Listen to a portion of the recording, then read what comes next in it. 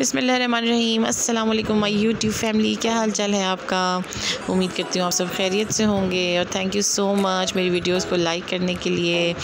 और अगर पसंद आए तो शेयर भी किया करें अपनी फ्रेंड्स एंड फैमिली में वीडियोस को।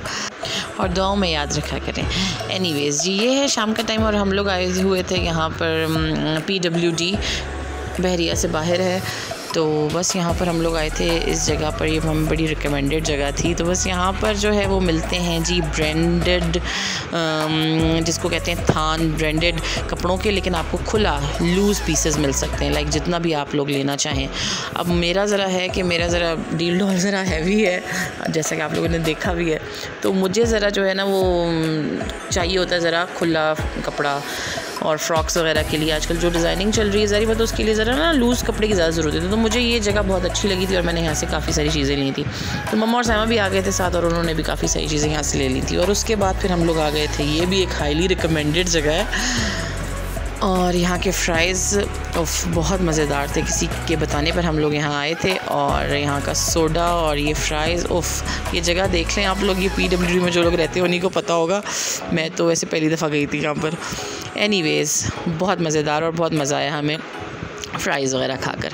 तो जी, ये है नेक्स्ट डे और नेक्स्ट डे हमारी थी वापसी वाकेंड के लिए। ये होता है एक अच्छी बात कि साइमो और मैं क्योंकि वाकेंड में रहते हैं तो दोनों साथ आते हैं और साथ हमें ड्रॉप भी हो जाते हैं, यानी कि बस हम दोनों चले गए थे। वापस मम अबू और शाहजेब हमारे साथ गए थे।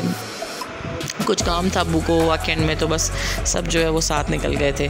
और बच्चे जो हैं वो बिल्कुल जाना नहीं चाह रहे थे वापस। उनको था कि नाना नानों के घर ही रहे। लेकिन काफ़ी दिन हो गए थे। ज़ाहरी बात है, फिर मैं थोड़े दिन इधर होती हूँ, थोड़े दिन उधर। तो बस जी यहाँ से पे वापसी हो रही है। और बस ज़्यादा से ज़्यादा कोशिश करते हैं कि शाहजेब जब तक पाकिस्तान में है तो उसके साथ टाइम गुजार लें।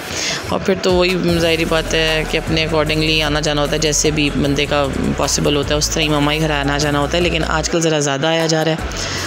तो बस ये घर आ गए थे, हम शाम में घर पहुँच गए थे और रात का ये ट्रिप तो हमारे लिए ज़रूरी है क्योंकि अजान साहब घर आते साथ बिल्कुल ही डिफरेंट मॉड में आ गए और वो घरेलू मॉड हो गए। तो उनको था कि मुझे बाबा लेके चलें आप और ज़ाहरी बात है वो ये ट्रिप तो मस्ट होता है। और अज़ान की तो इतनी फरमाइशें होती हैं कि मैं क्या बताऊँ, और छोटा है इसकी फरमाइशें पूरी भी करनी पड़ती हैं।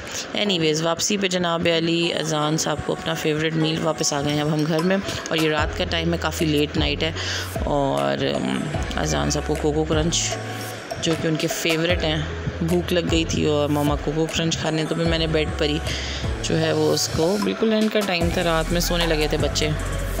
तो बस अजान यहाँ पे कोको क्रंच खा लेगा और उसे बहुत शौक है ख़ुद ही मिक्सिंग करने का और ख़ुद ही डालने का।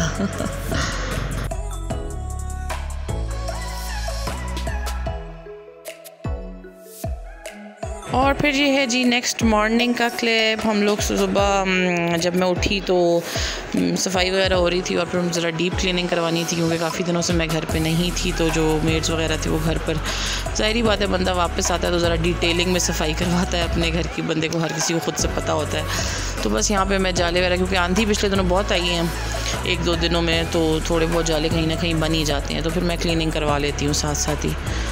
और बस यहाँ पर सफ़ाई शफाई मैं करवा लूँगी अपनी पसंद की ज़रा, क्योंकि अब मेरे यूज़ में होगा किचन वगैरह तो सब कुछ साफ़ सुथरा मिले मुझे। और जी, एक हेक्टिक और बिज़ी डे के बाद, ये है रात का टाइम क्योंकि काफ़ी दिनों बाद आई थी, बहुत सारे काम थे जो देखने थे, करने थे।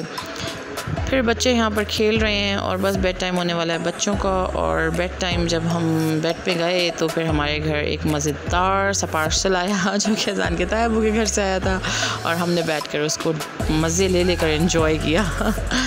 बस जी यहीं तक थी मेरी वीडियो इंशाल्लाह नेक्स्ट वीडियो में मुलाकात होगी। अल्लाह हाफ़ जी बाय बाय